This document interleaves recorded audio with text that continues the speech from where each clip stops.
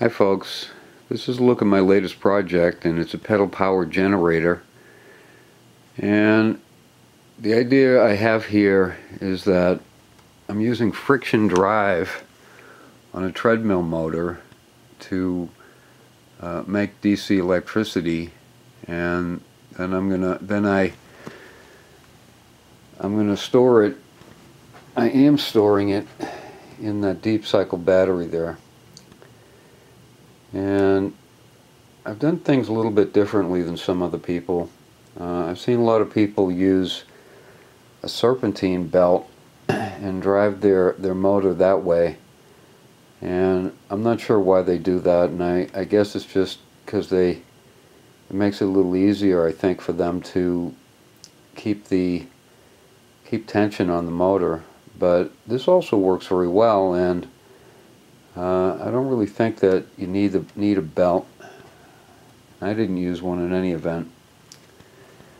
And another thing I've done here is I've got this solar charge controller and the reason I'm using that is because it has blocking diodes built into it so that I don't need to add blocking diodes to this setup can just plug it straight into this charge controller. And I bought that charge controller on eBay. It was less than $15 uh, if you look around you can get these things pretty cheap.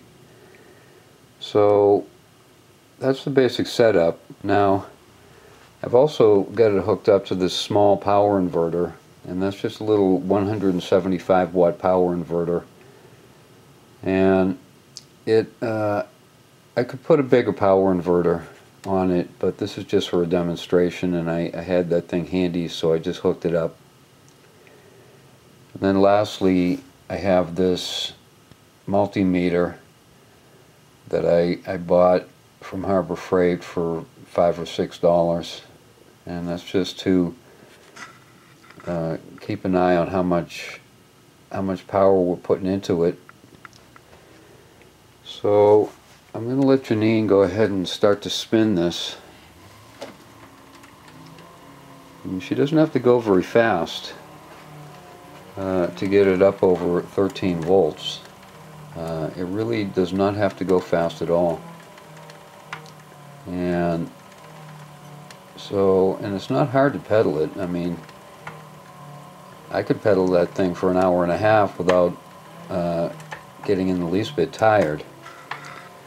Anyway, when she's pedaling it, you can see that light on the left is a green light and it comes on when this thing's getting a charge.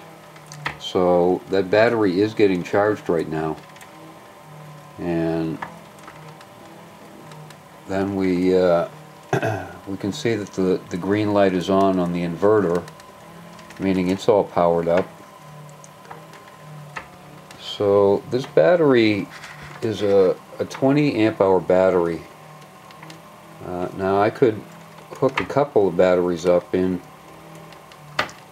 in series and power uh, you know have a longer life but in this case I'm just I just have the one battery on there now all this this wiring here it, it might look complicated but it really isn't uh, we have one set of wires is coming from the motor and that's going into the charge controller and then the uh, then the power comes out of the charge controller and gets hooked up to the battery.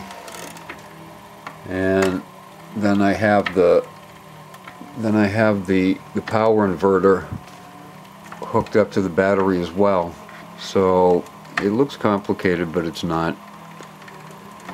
And it works pretty well. Uh, it really is not hard to pedal it and keep it up over 13 volts. It really just isn't. Just keep a steady pace on there. And I think that in an emergency, this could really be a handy thing. Especially for people in an apartment that can't have solar power or, or run a gas generator. Uh, this could power, give them, give them enough power, give people enough power to charge cell phones and and tablets and and probably even a laptop computer. So I think this is a, a good thing for people to have, I really do. And just for fun, I'm going to turn on this light that I have hooked up to it so we can see that it, it will power that one electric light. I wouldn't want to put a whole lot more put a whole lot more on there than that. Uh, it probably would also power a, a laptop if uh, if the battery if the battery wasn't installed in the laptop you could you could power it uh, a small laptop.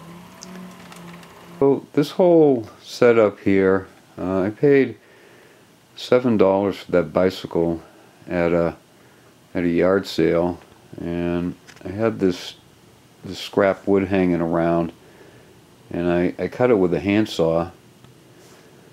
So you don't even need power tools or anything to make this uh, although I did use an electric drill. And that charge controller I paid about $15 for that on eBay. Uh, you need to look around for them but you can get them pretty cheap. And that battery I guess is probably about $35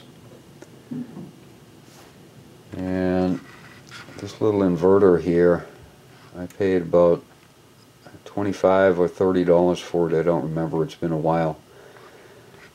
So the whole thing uh, not counting that that treadmill motor is we got so we get 7 and 35 is 42 57 77 it's about it's under a hundred dollars uh, it's well under a hundred and a few hours labor and it really uh, is self-contained uh, one of the good things about this little inverter by the way is it has a USB port on it so you could easily charge cell phones and so forth with it. Anyway, that's about it. Uh, this is a, a, worthwhile thing to have and uh, not hard to make. And I hope it gives people some ideas. So, thanks for watching.